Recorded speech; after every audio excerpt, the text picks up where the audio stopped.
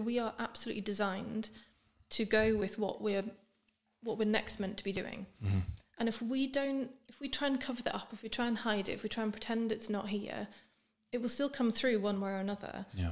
And yeah, and so sometimes working with a coach is just the thing that actually helps it ease more into that transition Okay. rather than I don't know if you know people who've maybe like last minute blown up and gone, oh my god, I've got to leave this job or I've got to Yeah. leave this wife or husband or Absolutely. Got to leave this country, you know, whatever Yeah. the thing is. And that's only because they've like tried to keep a lid on something Mhm.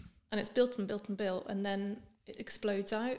Yeah. So really, yeah, catching it earlier saves a whole bunch of people a whole bunch of pain. Yeah, and also, you know, to echo back to that, the, the business analogy, I suppose, saves a lot of money as well for some people Saves a lot because you don't want somebody there who, who doesn't want to be there because Yeah. they're never they're never fully showing up, you know, Yeah. mentally and, and physically.